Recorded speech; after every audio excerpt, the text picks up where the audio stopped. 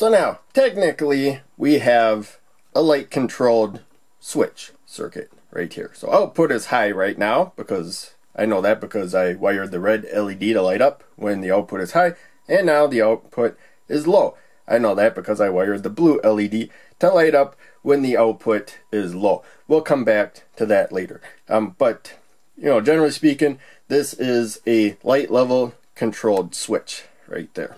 And to accomplish that, what I did was take an op amp right there and wire it up to be an inverting op amp comparator.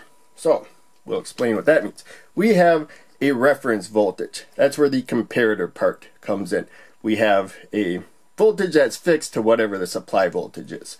And um, the uh, voltages at both inputs will change based on the supply voltage changing, you know, at the same time.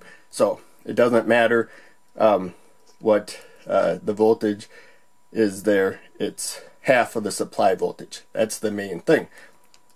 That's the uh, plus input right there, which is called the non-inverting input. I have the uh, pin layout over there, but uh, we won't look at that at this time, just to uh, keep, you know, from showing too much at once.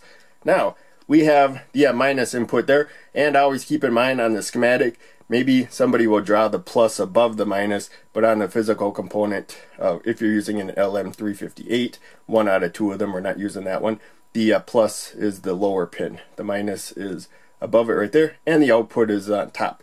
Over here, it's all shifted down one spot, but we got plus, minus output right there. So, any case, half the supply voltage, because they're equal value resistors, you can set it to uh, what voltage you want by adjusting uh, the value of one resistor or the other. As long as they're equal value, though, you'll get half of the supply voltage.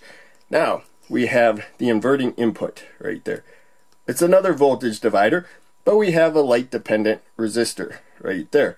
So as more light falls on the light dependent resistor, right now the lamp is, um, you know, it's at its brightest setting. If I set it to the dimmest, the output is still low. I can use my finger to cover it. I can just barely get the voltage to drop below half the supply voltage. There we go. I just set the lamp up one more setting and uh, enough light can get through my finger right there to keep the output higher than half the supply voltage. So more light on the light dependent resistor, lower resistance, the voltage goes up right there. If uh, we got enough light where it's 10,000 ohms of resistance, it would be half the supply voltage there. A little more than, um, little more light, I should say, will lower the resistance and raise the voltage a little bit because we got a little bit easier uh, connection to the positive supply versus the negative supply right there. That's the way it works. You get it dark enough, its resistance gets above 10k. So what that means is this is the lower resistance right there. It'll drop the voltage below half of the supply voltage. So very important to be able to think about that when you're looking at this circuit right there. So that is the main takeaway. Now, when it comes to the op amp, so the output voltage, it looks at the integrated circuit, the voltage at the non-inverting input, and the voltage at the inverting input. And the output moves, you know, depending on those two voltages. It always wants to be more like the non-inverting input than the inverting input. That's why this is non-inverting. The output wants to be more like it. So if we got a lower voltage here, at the non-inverting versus the inverting, then the output voltage goes down. Here, it just goes down as low as it can in this particular circuit, and it goes up as high as it can when we got a higher voltage at the non-inverting input versus the inverting input voltage right there. So, that's because there's no feedback. This is always either higher than that one or lower than that one. And uh, unless you somehow get them perfectly equal then you know this might kind of like flicker or something back and forth as it just changes a spec. But that's very hard to do with this circuit. You wire up a Schmitt trigger to help overcome that problem. But any case uh, we always have a case where and Schmitt trigger is positive feedback where you make it impossible for them to ever have the same voltage so any case we power the integrated circuit you can see that on there. Not all people draw the supply voltage on the schematic, but you always have to power it. Generally, it's the same voltage. Everything else is working at. So yeah, there you can see it's uh, wired up. And uh, yeah, we can zoom in on the pin layout right there. You can see uh, positive supply up there, negative supply down here. Now, ground is out, not always the most negative supply uh, voltage in the circuit. Sometimes ground is a middle voltage, usually halfway between a positive and a negative right there. So we could have uh, ground, zero volts be somewhere in the distance, plus five volts there, minus five volts there, or something. That's possible. So that's what uh, that's uh, really saying. Um, but uh, now we have plus five volts up here and zero volts ground at uh, that pin right there. As I said before, output on top, the uh, the inverting input minus right below it, and then the plus below it. Same with this one, except for it's shifted down because of where the supply pins are. So I always check the pin layout of any circuit you're looking at. We'll come back. And always remember the schematic might swap their positions. If the plus is higher than the minus on the schematic, you have to make sure you wire whatever goes to the plus, if it's up higher, to that uh, pin right there. So, in any case, that uh, really uh, explains the circuit. You can as I said before, if you want half the supply voltage, doesn't matter what value the resistors are as long as they're equal. We could use 5K there. We could use uh, 22K. I don't think I have 20K resistors. I think I have 22. And so on. Doesn't really matter, but uh, generally you see 10K. You see 10K uh, used a lot as a general resistor. So if you're buying resistors independently, uh, make sure you stock up on 10K. Now, uh, we don't have to use 10K here. This is a light dependent resistor, its resistance changes based on light. So that's something, the resistance depends on light level. Although there are some light dependent resistors, I have uh, like seven, I think, different part numbers for light dependent resistors. The exact resistance based on light level might change on part uh, number. You know, each part number has a different resistance at a specific light level if I put them next to each other and measure them. Um, but they all go uh, down in resistance when it gets brighter and up in resistance when it gets darker. So we have that. We don't have to have 10K there and then when the light dependent resistor is 10K to get half the supply voltage. I could use a 3000 ohm resistor. I think that's what I use um, in when I want a different light level setting. I think that's a common one I use in my other schematics. And then uh, when the light dependent resistor gets down to 3000 ohms resistance, then you would have half the supply voltage. So you can adjust how the light's going to change. I could make it where whenever I cover this with my finger or set the lamp at the dimmest setting, uh, the output would go high. Here, I gotta actually uh, do both right there, or turn the lamp off right there. So you can adjust the setting most likely uh, with that resistor right there. All kinds of ways you can adjust this. You don't have to build it like this. This isn't the perfect uh, circuit or something. There's all kinds of ways to make adjustment. However, you want uh, to build it. So now we come to the output. As I said before, for those that, uh, especially if you don't watch my videos, I don't know how much other people do this. This is the system I like to use. So we have a blue LED.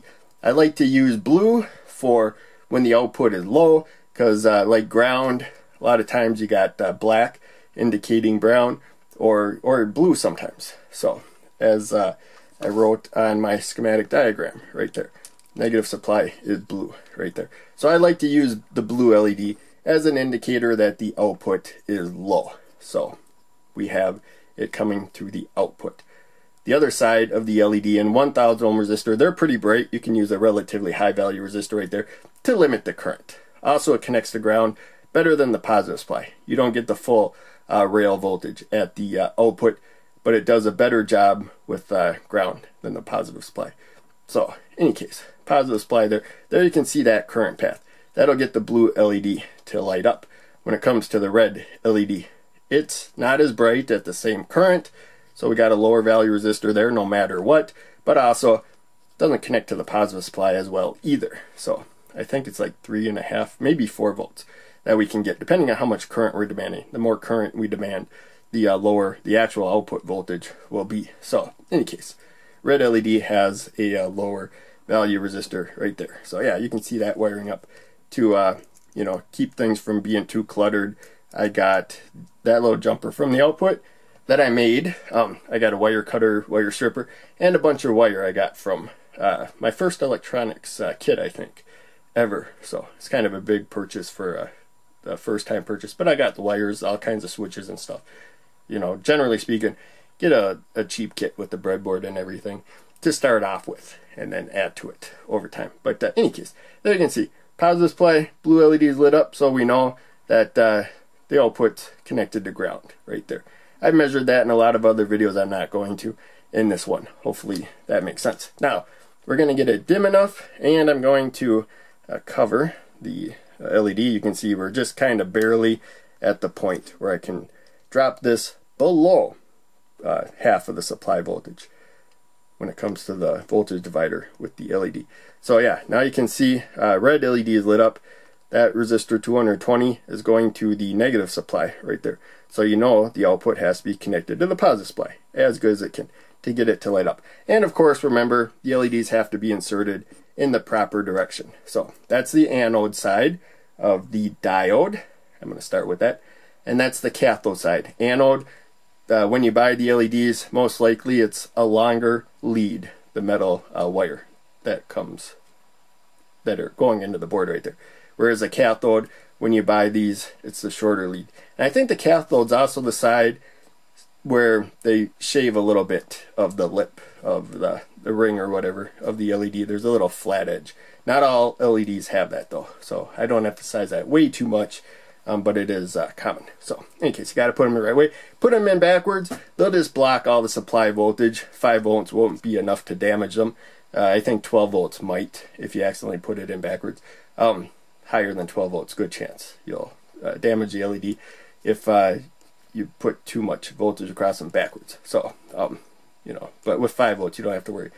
So, if this isn't lighting up, even though it looks uh, wired uh, completely perfectly, uh, there we go. Um, I cannot get the red LED light up. It's in backwards. So that's a good indication if it looks like it's all wired up properly. It's easy to miswire by accident, and it's easy to put LEDs in uh, backwards by accident. Uh, so in any case, the main takeaway for this particular circuit. So a lot of people are pretty new to electronics, so I explained uh, pretty much everything in uh, a lot more detail than I would if, um, you know, you have already built up to understanding circuits like this at this time. Um, but uh, when it comes to the actual circuit here, for whatever reason, I wanted the output to be the inversion of what the inputs are. So when you want that, you put your reference voltage at the plus input. Your changing voltage is at the minus. Raise this voltage above that one, so high input, you get a low output right there. Main takeaway. And then you make it dark enough where there's less resistance on the low side there. We get less than half the supply voltage. And uh, so that means it'll be higher than the voltage there. High output coming out. That's the main takeaway um, of this circuit right there. It's just a demonstration circuit.